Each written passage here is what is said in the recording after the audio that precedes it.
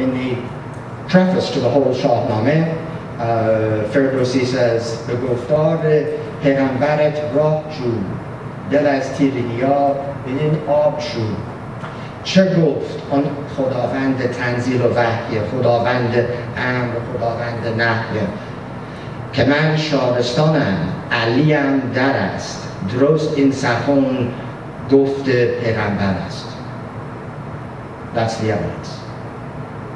Does that mean for us that he uh, had a special feeling about the so-called Holy Family, Ali the next generation member of the family, or does it mean that he was uh, a, a Shiite by faith and by practice?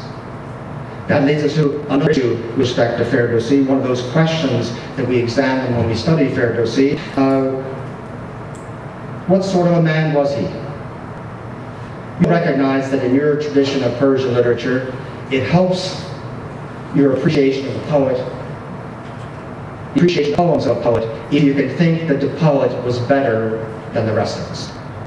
To stop and think of the poets who were in the top rank of Persian poetry, and generally we find in them characters above the ordinary, above the usual expectations for people. In the case of Ferdowsi, over the centuries, uh, Iranians and others have created a sort of perfect man out of Ferdowsi.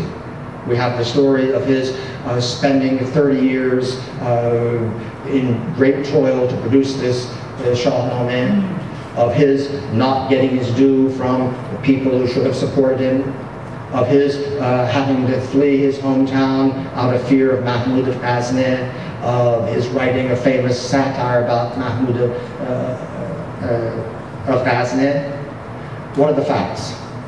The fact is that these stories tell us a lot about Iranian culture and are valuable stories. The second fact is we have no evidence for the stories. The reports basically uh, derive from the Chahar Maqale by Nizami uh, Samarkandi or Aruzi, and he didn't have first-hand evidence. He was writing down what he had heard.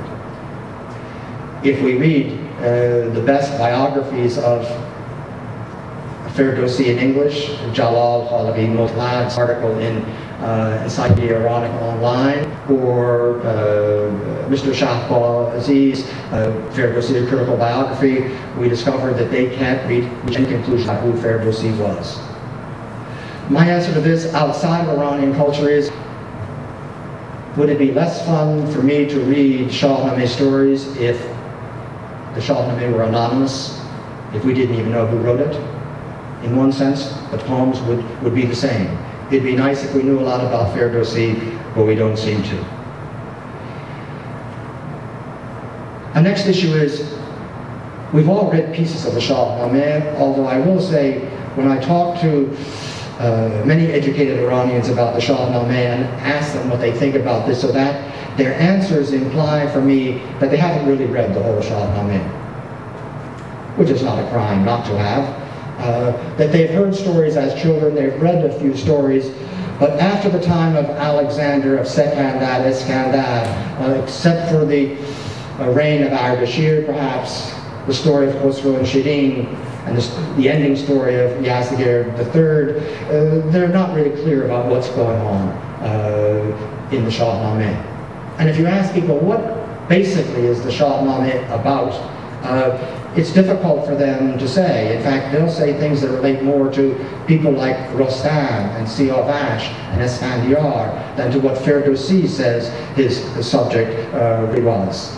Um, where do we have our next uh, volunteer reader? سخن گوی دهقان چه گوید نخست که تاج بزرگی به گیتی که جست چه بود آن که دیهیم بر سر نهاد؟ ندارد کس آن روزگار یا اگر که در یاد دارد پسر بگوید تو را یک یک که نام بزرگی که آورد پیش که را بود از آن مهتران مایه پیش؟ چون این گفت پایین تخت و کلاه یومت آورد او بود شاه. Thank you. These are the first words in the Shahnameh proper, in the story proper. And the last words of the Shahnameh sort of verify this. Ferdowsi saw himself as writing the history of kings of the world. His world was an Iranian world. So it became kings of Iran as well, but kings of Iran were kings of the world. But the story is about kingship. This is not all that comfortable for all readers of the Shahnameh today because, today because they spent most of the 20th century chafing at the monarchical bit and hoping that there might be another kind of system uh, for uh, their culture and country. But if we can appreciate kings as representing in a sort of fiction, in stories, Iranian qualities, that we enjoy their successes, that we feel sadness when things uh, go poorly for them, uh, it doesn't imply any connection between us and views about kingship as a, a, a political choice. And then uh, to mind the issue of Mahmud of Ghazni. About whom, in the course of the Shahnameh, Ferdowsi has perhaps 200 dates of uh, fulsome praise he starts his praise in the preface to the Shahnameh with 40 or 50 couplets praising uh, Mahmud, and they begin this way.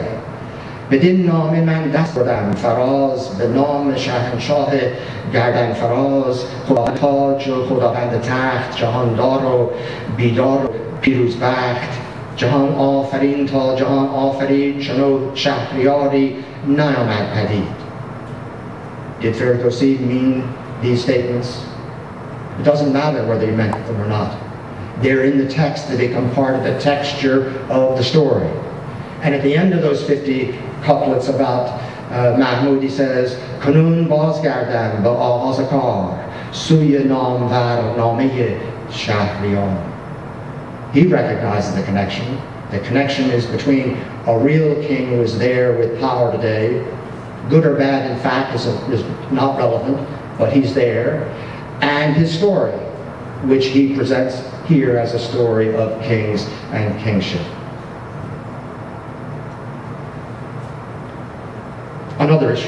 Is Ferdowsi Shahnameh primarily storytelling, history, a mirror for princes, a guide to living, testimony to cultural nationalism, cultural identity, or something else? If we pay attention to what Ferdowsi himself says in his text, we'll reach the conclusion that Ferdowsi thought of his text as versified history. History of the world, but that history uh, of Iran, the center of that world.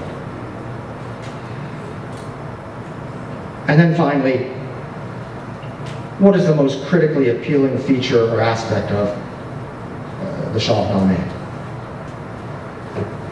the stories, Ferdowsi's advice, his worldview, the cultural nationalism in the text. For me, as a person who, as they say uh, in several realms, uh, does not have a horse in this race, that is for me personally, culturally, ethnically, linguistically, Ferdowsi is another writer of poetry, not somebody who represents uh, what I might be uh, culturally. So I'm less likely to enjoy Ferdowsi because of a cultural orientation in it. I'm also a modern person, as we all are, so I'm not going to drive any more inspiration from Ferdowsi than I am from Shakespeare in a sense. That is those um, arenas and areas in which Ferdowsi presents pre-modern notions as interesting and exciting as they are, they might not be the notions that would motivate me. But from when I first got exposed to Ferdowsi in Mashhad uh, years ago, uh, something about him seemed more important than meaning, more important than culture. And it was just the words. And ultimately it may be that for critics, literary critics, what makes Ferdowsi special, what makes him survive, is poetry, is speech that becomes poetic. Ferdowsi can show us things and not tell us things.